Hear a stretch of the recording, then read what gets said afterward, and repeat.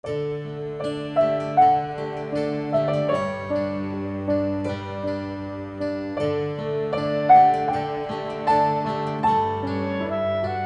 家好，我们今天要做的是呼吸运动。呼吸运动呢，可以帮助你肺部扩张，增加你的运动的一个耐受性。当你如果在看电视或者是在休息的时候，你都可以做这个呼吸运动。呼吸运动呢，适合在饭后一个小时，以及就是在你觉得很舒适，当你觉得想要促进你的肺部扩张的时候，你就可以做这个运动。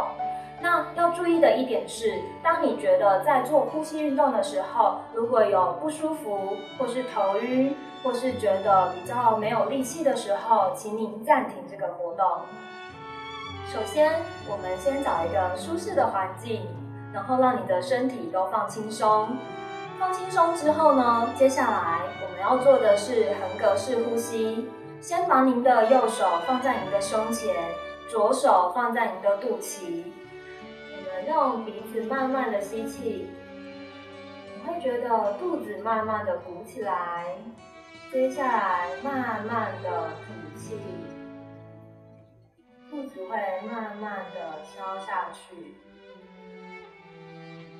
就这样的一个动作，您可以做三次或是四次。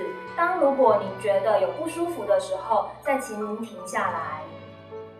接下来我们要做撅嘴吐气法，配合我们的横膈式呼吸，一起来做撅嘴吐气法。撅嘴吐气法呢，可以增加气管内压，促进我们的肺部扩张。那我们在做这个动作的时候，有一个小诀窍，就是要将您的嘴巴嘟起来，呈现这样子一个状态。好，那我们就来一起做这个撅嘴吐气法。首先，鼻子吸气，让您的气大概停留三到五秒。接下来，再用嘴巴慢慢的吐气。吐气的时候要记得嘴巴要嘟起来。慢慢的吐，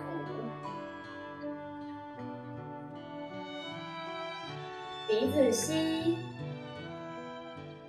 嘴巴吐。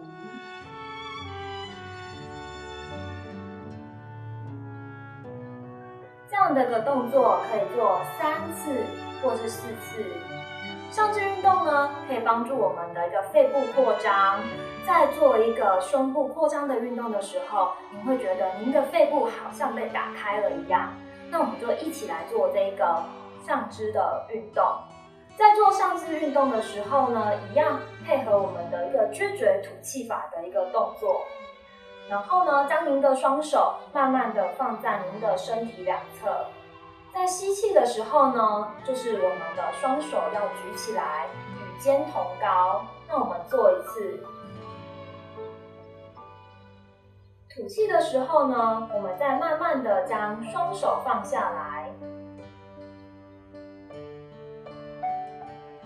接下来我们要做进阶的呼吸运动，配合我们刚刚所学到的一个技巧。现在呢，将您双手放在两侧，吸气的时候一样慢慢的举高，吸气。慢慢的撅嘴吐气，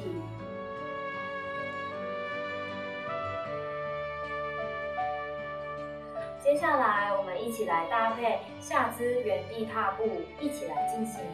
首先，先将您的双手放在身体的两侧，呼吸，慢慢的吐气。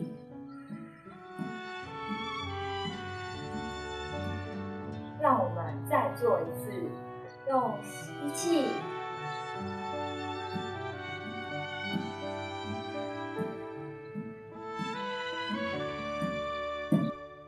吸气，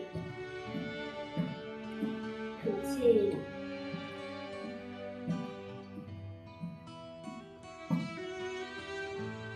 大家都学会呼吸运动了吗？呼吸运动可以在。